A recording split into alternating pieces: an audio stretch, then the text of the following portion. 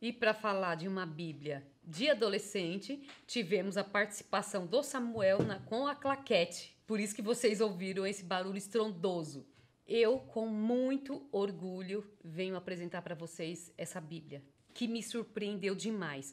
A Bíblia da Garota de Fé. Essa daqui é da Mundo Cristão. Tem outras capas dessa Bíblia, mas eu achei essa daqui mais despojada, mais jovem. Entre outras capas que tinha, eu, meu lado jovem, meu lado adolescente, eu falando no alto dos meus 46 anos, eu, meu lado adolescente, gostou mais dessa daqui. Bíblia da Garota de Fé. É uma Bíblia com texto NVT, né, que é o, o texto top das galáxias da Mundo Cristão. E ele é uma Bíblia que me surpreendeu demais.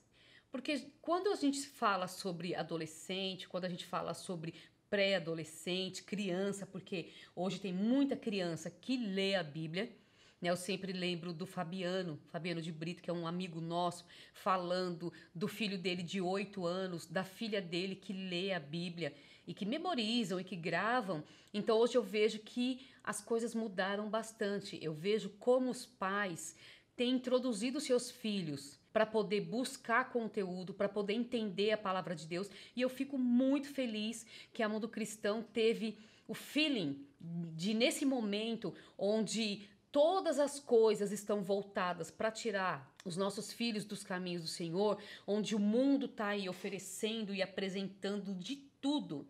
A Mundo Cristão fez essa, essa Bíblia é com uma linguagem NVT, que é uma linguagem fácil, então o jovem ele, ele vai ter muita facilidade para ler e com artigos excelentes. Essa daqui é da Garota de Fé. Eu não sei, hein, Marcelo, tem o Garoto de Fé? Não, não lembro de, de, de ter visto o Garoto de Fé, eu só isso, vi. Isso é garotofobia. Você falando assim, as pessoas vão acreditar que é verdade. Gente, a Mundo Cristão não tem isso, tá? É o Raul que gosta Tem de encher sim. o saco. Dá licença que você tá atrapalhando, eu tô num momento muito sério, que é para falar sobre adolescente.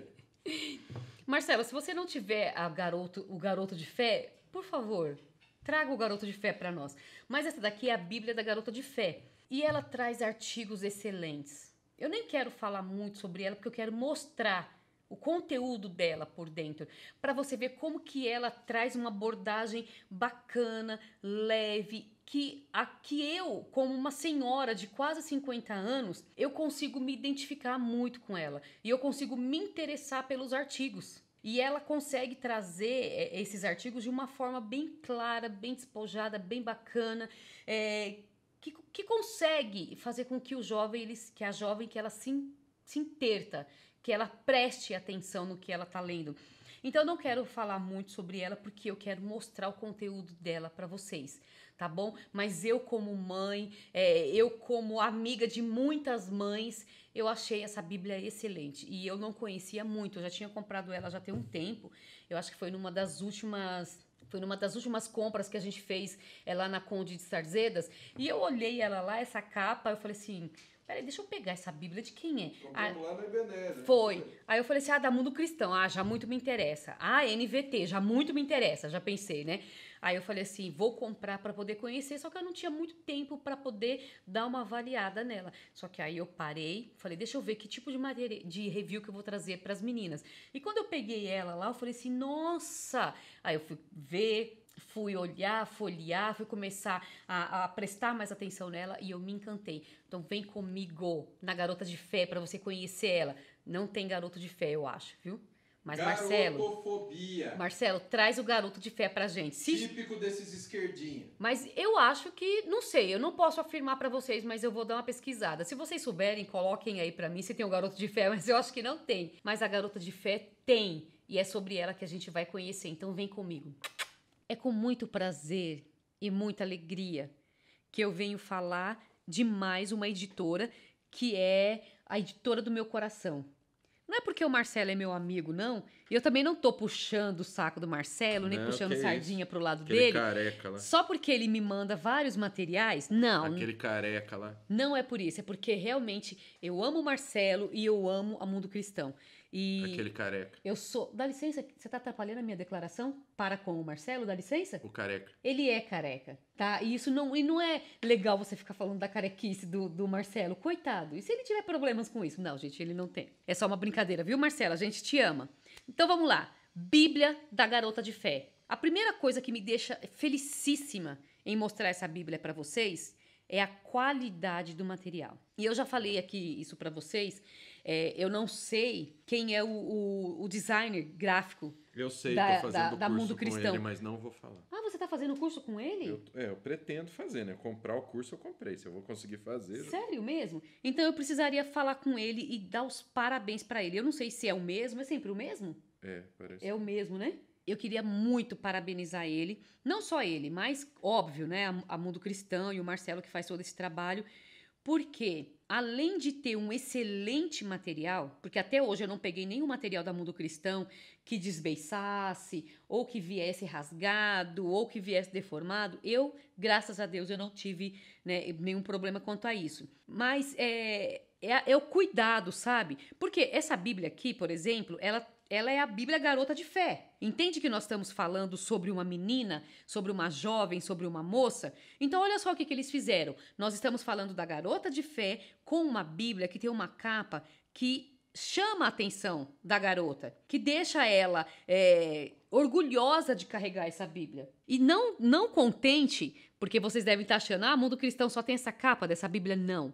Olha aqui, olha essa capa, branca, rosa, olha o design dela, olha as referências, coração com asa, é, é, desenhos jovens, modernos, coisas que você usa no Instagram, no Facebook, como emoji. Então, são coisas atuais. Olha essa daqui, olha essa daqui. Gente, olha esse, olha essa cor. Olha essas flores. Então você percebe que as capas que a Mundo Cristão traz é já para chamar a atenção desse público. E a garota de fé, ela com certeza ela vai ficar muito orgulhosa de poder carregar essa Bíblia no dia do culto, para poder fazer o seu devocional, o seu estudo.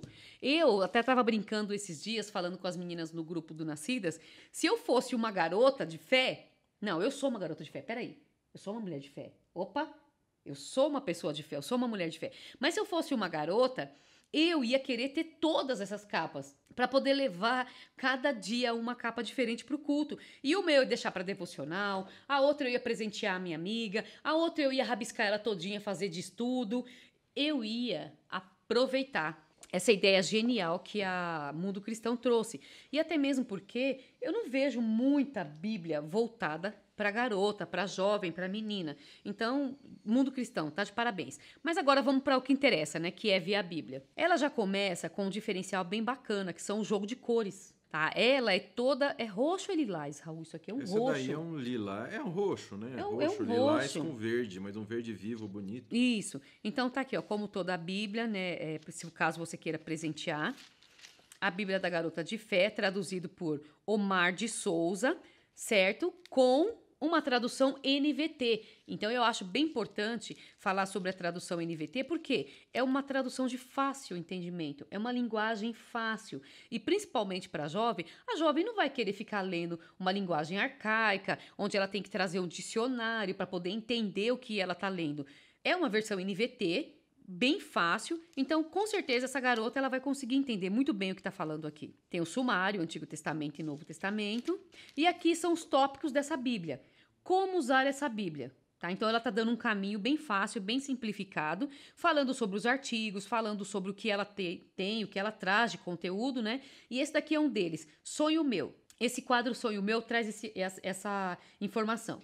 Como seria uma viagem na Arca de Noé? Porque está falando de Gênesis, tá? Nós estamos no primeiro livro. Então, cada livro vai trazer um tópico desse sonho meu. E se você pudesse ver o menino Jesus dormindo quietinho naquela manjedoura coberta de palha? Que tal acompanhar a criação do mundo por Deus? Esse recurso ajuda você a se imaginar vivendo algumas das histórias mais impressionantes e conhecidas da Bíblia.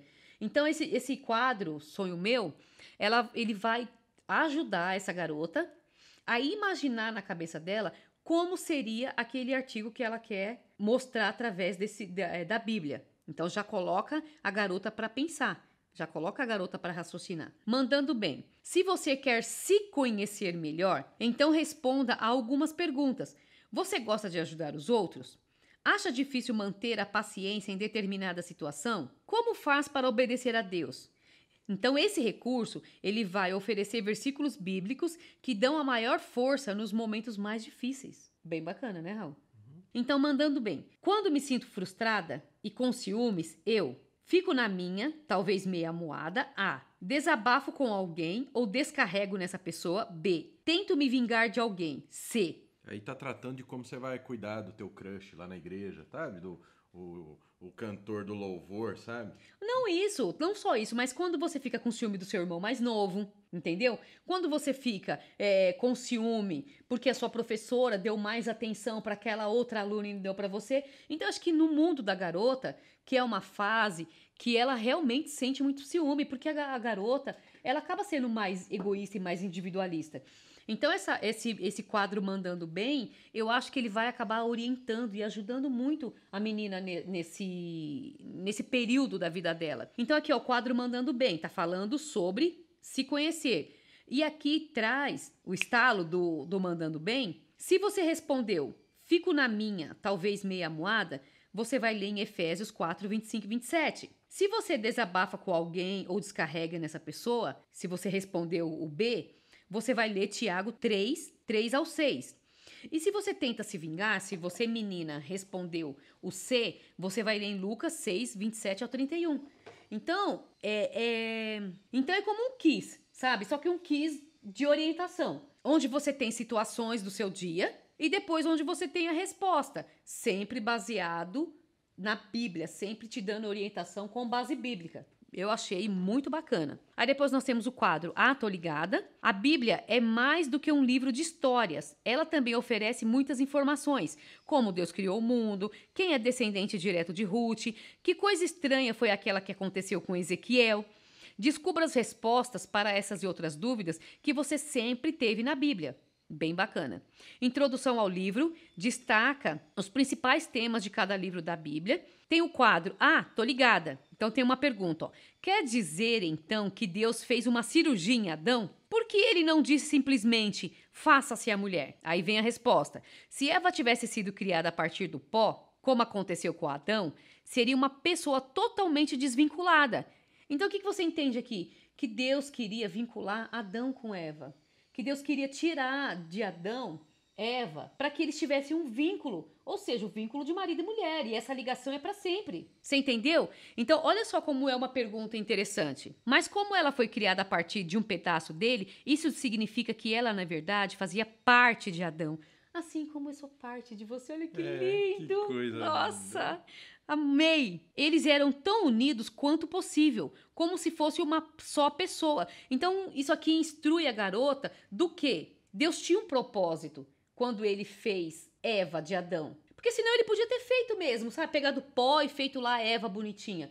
Mas ele tinha um propósito. Então é isso que esse quadro, Ato Ligada, quer transmitir para a garota. Então é muito interessante ela ler com calma, com paciência, porque isso aqui vai ajudar muito na jornada da, da garota. Porque geralmente, é, não sei, eu não tô falando não estou generalizando, tá? Mas geralmente os pais e as mães não introduzem muito os filhos no caminho do Senhor, trazendo, olha, essa aqui é uma Bíblia para você, para você a Eles acham que o suficiente é ficar dando é, limite moral para criança. Exatamente, mas não trazem muito isso. Olha, filha, eu trouxe aqui para você uma Bíblia.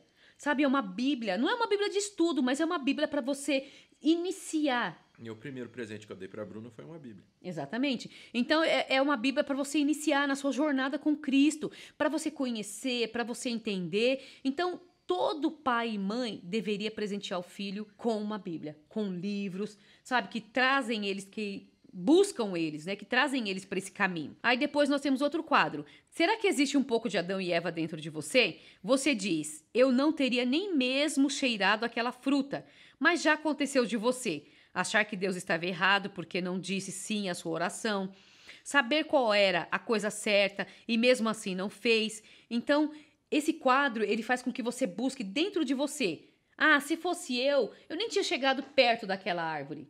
Ah, se fosse eu, nem tinha dado para Adão aquela fruta. Entendeu? Só que aqui, esse quadro faz você refletir: será mesmo que não existe nem um pouquinho de Adão e Eva dentro de você? Então, olha que bacana. Então, vamos lá, vamos correr. Aí depois aqui, ó, entre amigas. Aqui você encontra um espaço para falar com uma amiga sobre temas como amizade, família, preocupação e outros assuntos. Então, olha que ideia bacana. Com uma amiga, imagine como seria o seu mundo sem ela. Na hora do almoço, nas férias, quando alguma coisa muito esquisita acontece com você. Então, isso daqui eu achei muito bacana. Eu até estava falando com a Requiminazo, porque como o Marcelo ele mandou mais de uma Bíblia, eu estou pensando em sortear uma Bíblia menina e uma Bíblia para amiga, para que ela e a amiga possam trilhar juntos esse caminho. Porque é uma Bíblia para você ler em parceria com a sua amiga, para você depois discutir com ela, para você debater com ela, para você, sabe, acompanhar sua amiga nessa evolução. Então eu tô pensando seriamente nisso. Fala para mim o que, que você acha. Escreve aí para mim. Seria legal compartilhar essa Bíblia com uma amiga, você garota, e o sorteio seria bem bacana sortear uma para você e uma para sua amiga. O que, que você acha? Escreve aí nos comentários. Aí depois nós temos aqui entre você e Deus, e entre você e Deus aqui, ó. Querido Deus, é um quadro. Tá vendo que tem o tema e tem linhas para você escrever. Seja bem sincera com Deus ao usar esse recurso. Conte a ele como você está se sentindo, sem se preocupar com o que os outros vão, vão pensar. Abra o seu coração. Então, no final de cada livro da Bíblia, tem esse quadro. E você, mãe, não pegue a Bíblia da sua filha para ler, tá bom? Aqui é um momento particular entre você e ela. Deixa a sua filha ter intimidade com Deus. Entre Deus e ela. Exatamente. Aqui, ó, tá falando sobre a, a NVT, que é a, a, nova versão transformadora. Aqui é muito importante você ler para ver como que ela vai te orientar nessa jornada NVT. Aí depois nós temos o Antigo Testamento. Aí tá vendo aquele quadrozinho, ó? Aquela introdução básica? Gênesis. O, o início é sempre um bom lugar por onde devemos começar. Então, como tá falando com a garota, não precisa ser aquela, aquela coisa de ficha técnica, de tópico, de não sei o quê. Não, é um início bem pequenininho para que a, a, garota ela consiga ler. Que às vezes, né, ela tá ali com pressa, tem mil e umas coisas para fazer, então ela vai ler com calma. E essa Bíblia, você vai ver que ela não tem nota de estudo. Por quê? Ela não é uma nota de estudo, mas ela tem nota de tradução. Então, a garota, ela também pode ver essas referências aqui e acompanhar na Bíblia.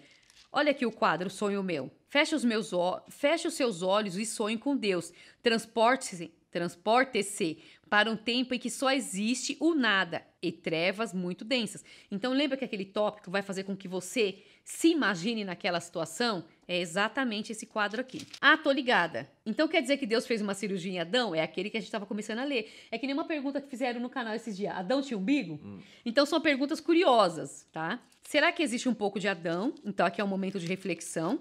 Se existe um pouco de Adão e Eva dentro de você. Olha aqui, outro quadro, ah, tô ligada. Como é possível uma pessoa chegar à idade de 969 anos? Tem jeito isso? Tem, você vai ver que naquela época tinha. Mandando bem, que é aquele quadro que a gente viu, que é tipo um quiz, pergunta e a resposta, mas com a base bíblica. Aí aqui vai, sonho meu, tá? São os quadros que ele mostra aqui para você. Tô ligada. E olha aqui, ó entre você e Deus. Então, sempre no final da Bíblia, você vai ter aquele momento de intimidade. E aqui, ó, é entre você e as amigas. Então, ó, com uma amiga, imagine como seria o mundo sem ela. Dica: se a esta altura vocês estão chorando, oh meu Deus, coisa de adolescente mesmo, né?